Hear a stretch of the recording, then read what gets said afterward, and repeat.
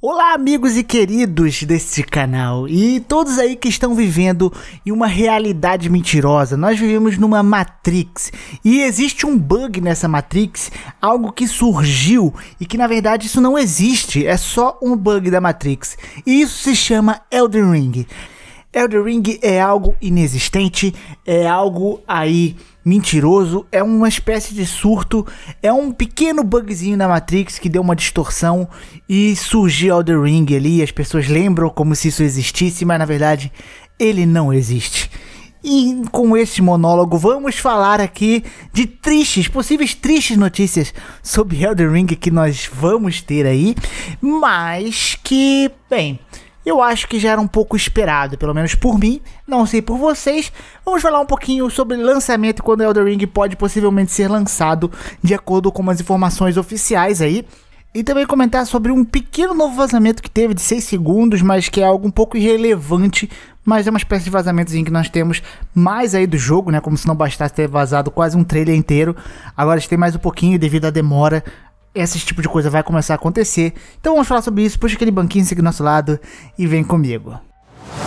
Bem, muita gente estava querendo e esperando Elder Ring aí para lançar este ano, né, de 2021, e que muita gente estava, a gente realmente estava achando que seria essa data.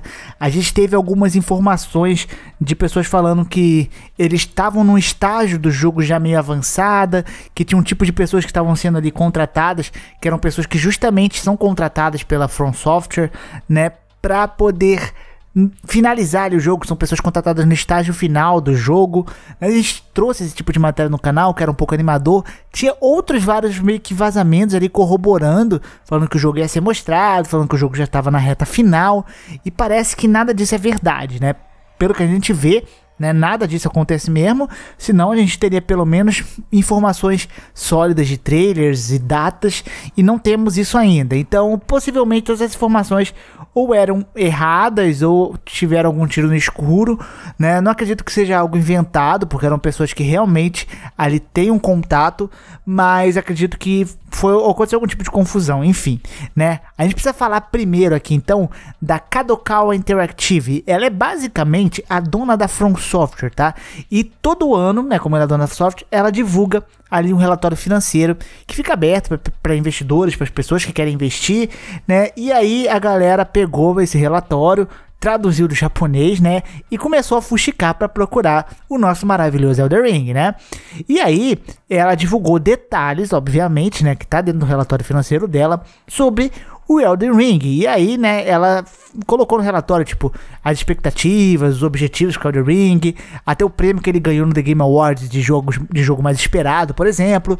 E aí, obviamente, a galera foi fuxicou mais a fundo esse relatório, traduziram tudo e viram ali que a janela de lançamento planejada para Elden Ring nesse relatório é pelo menos até o fim do ano fiscal. O ano fiscal ele vai de março a 1 de abril, tipo, basicamente termina em, em final de março, né, o ano fiscal, e o a janela de lançamento é essa. Então, a ideia inicial é que Elden Ring possa ser lançado até março de 2022, tá?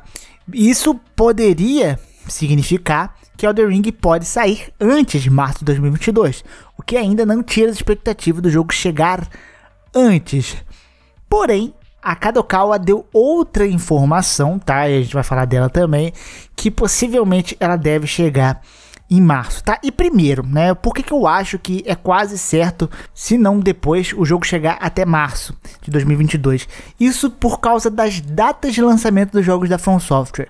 Com exceção do Dark Souls 1 que lançou em setembro, o resto dos seus jogos lança entre fevereiro e março. A gente teve Demon Souls que lançou primeiro lançamento dele no Japão foi em fevereiro.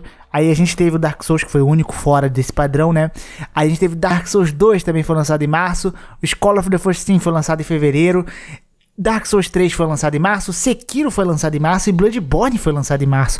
Então, basicamente, todos os jogos recentes da From Software, eles são lançados no finalzinho do ano fiscal da empresa, que é março. E por isso que eu estou achando que é quase certo que a ideia de lançamento inicial deles é para março de 2022. O que é uma notícia triste para quem tá esperando o jogo sair antes. Mas a gente ainda tem uma notícia pior ainda, tá?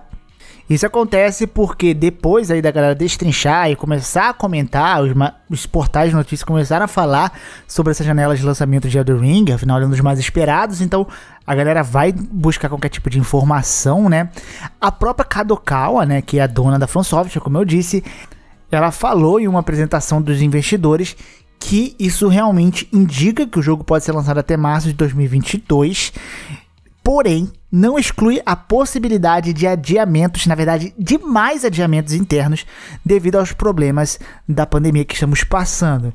Ou seja, né? Por causa de todo esse silêncio do jogo, era obviamente que teve adiamentos internos e muito possivelmente não por causa do jogo em si, é o que eu espero, e sim por causa das coisas que estamos passando, né? Então, é pessoa trabalhando de casa e a gente tem o próprio exemplo aí do Cyberpunk, que um dos principais motivos do console ter saído do estado que saiu foi o fato de que os desenvolvedores começaram a trabalhar home office, eles só testavam o jogo no PC, não tinha acesso ao kit de desenvolvimento que só podia ficar na empresa, porque é algo contado, né, algo que todo mundo pode pegar e levar.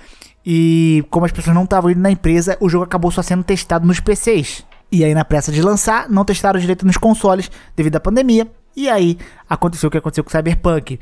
Então muito possivelmente a From Software, diferente da postura adotada pela CD, ela está fazendo, não fez promessas de data, mas está fazendo adiamentos internos ali justamente por causa da galera de home office e essas paradas, né? Então, a janela de lançamento é essa, então eu acredito que fortemente que se for sair, se não tiver adiamentos, vai ser para março, que é a janelinha final deles, como sempre, eles sempre lançam em março, mas que isso pode resultar em adiamentos para uma outra data.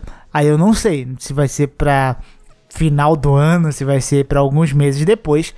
Mas o fato é que o jogo ainda pode ter adiamentos internos por causa disso, tá?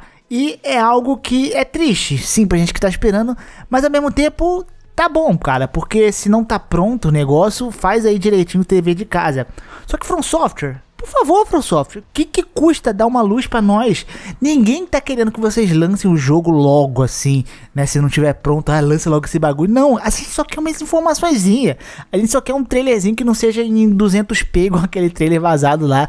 A gente não quer leak, não. A gente só quer uma gameplayzinha, um trailerzinho novo. Só dá uma luz, eu acho que isso não é algo complicado de se fazer pra uma empresa como a From Software, né? Ela pode gravar os negócios, isso aí é um negócio muito rápido de fazer. Um trailerzinho junto com a equipe mesmo nesse cenário aí, home office, é, eu acho que é possível gravar esse tipo, ainda mais que fica mais com marketing, né? Não é mais não é só com ela. E poder dar uma luz pra galera, mesmo que não tenha data de novo. Só mostra uma paradinha pra galera se sentir feliz, alegrezinha, né? Eu acho que o maior problema é esse de Elden Ring, né? Nem o jogo, sei lá, se eles falar, ah, vamos precisar adiar mais um ano. Beleza, se vocês tiverem que terminar e não tá pronto, termine. Só mostra pra gente. A gente só quer ter a informação do jogo, a gente só quer saber que ele tá vivo, ele tá ali. E a FromSoft já tá deixando isso muito no escuro. Isso daí é bem ruim. E, querendo ou não, notícias de adiamento são ruins, né? A gente quer jogar o jogo quanto antes, mas se for necessário que seja feito, né? Assim. E essa daí é a parte bem triste. Outra parte aqui mais rápida é que teve um outro leakzinho aí que mostra só uns cenáriozinhos por 6 segundos. Um mini trailer ali que era algo fechado. Eu não vou mostrar aqui, tá? Mas eu vou tentar postar no Twitter aí e mostrar para vocês porque já aconteceu de vídeo meu ser removido uma vez por causa disso há muito tempo atrás com Dark Souls 3. Então eu não posto mais esse tipo de vazamento, porque eu sei que não é algo autorizado por eles. Então no Twitter já é mais tranquilo, né? Então qualquer coisa eu posto lá, tá aí na descrição, tá? se quiser me seguir. E são seis segundinhos, tipo, é só uma mostrinha, tipo, parece um cemitériozinho que aparece, uma construção e acabou. Né? Nada daquele nível do último que saiu. E é isso aqui o vídeo. Eu espero que vocês tenham gostado. Se vocês gostaram, não esqueça seu like. Se inscrever no canal. Muito obrigado pela visualização. Grande beijo, grande abraço, fico por aqui. E a gente se vê jogando Elder Ring aí em 2030. Não, brincadeira, não vai ser isso não. Valeu!